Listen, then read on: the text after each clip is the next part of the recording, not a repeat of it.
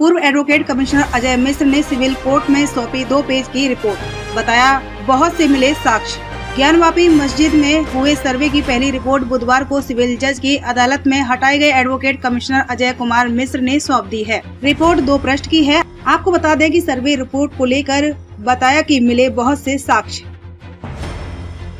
हाँ बोलिए। सोहन लाल जी आज कोर्ट जो है सुप्रीम कोर्ट है। हम्म। उन्होंने बोला है कि अब अगली सुनवाई सोमवार को होगी। सुप्रीम कोर्ट की जो सुनवाई है माननीय हरिशंकर जैन जी अस्वस्थ होने के कारण वह सोमवार तक के लिए समय मांगे हैं। इसमें जो है विपक्ष जो है ज्ञान बापी इंतजामिया कमेटी के लोग बार बार विरोध करते हैं कि नहीं सुनवाई होनी चाहिए होनी चाहिए लेकिन माननीय न्यायालय ने उनका आवेदन को स्वीकार किया सोमवार तक के लिए स्थगित कर दिया है। मिश्रा जी को हटा दिया गया। नहीं अजय मिश्रा जी बहुत ही निहायत शरीफ आदमी और बहुत ही संवेदनशील आदमी थे वादी और प्रतिवादी।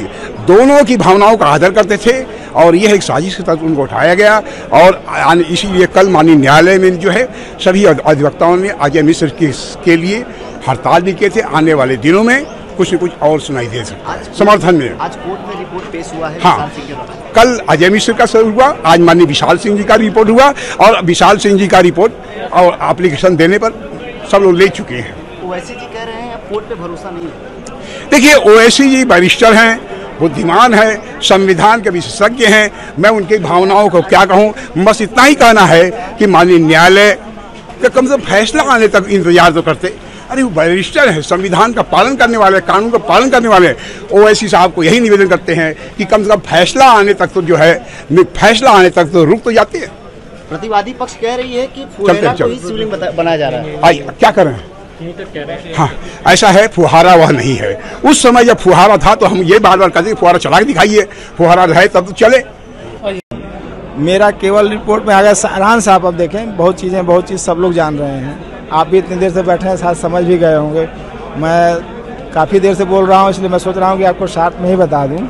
अगर विशेष कहेंगे तो वही बता दूँगा, बात की चीज़ है। लेकिन सारांश उसका यही है कि जो मैंने सर्वे किया है, वो एक मलबा है और उस मलबे में जो मुझे दिखाई दिया उस उसके अंश को अगर जो पश्चिमी दीवार है उसमें जो चित्र या जो आकृतियाँ बनी हुई हैं मिलान कराया जाए तो मैच खा जाएँगे। आगे की जो कार्रवाई चल रही है विशाल सिंह और अजय सिंह के संतुष्ट है? देखिए इस कार्रवाई से तो मैं कभी भी असंतुष्ट नहीं था क्योंकि कार्रवाई का अंश तो मैं रहा ही हूँ। वो तो मुझे जो है पर्सनल छवि बनाने के लिए आ, जो है गंदी राजनीति करके जो है गंदा आरोप लगा के हमको हटा दिया गया। ये बहुत ही तुच्छ चीज़ इसको मैं कह भी नहीं सकता आरोप भी नहीं लगा सकता कि नहीं कुछ क्योंकि कार्रवाई तो बहुत ही अच्छे ढंग से हुई है।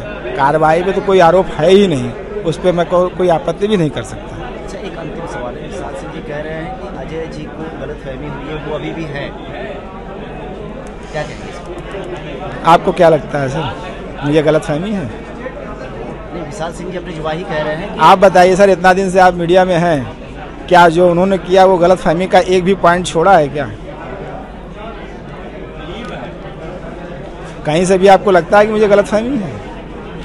एक अंधा व्यक्ति रहेगा, वो भी कह देगा कि नहीं, इन्होंने गलत किया है।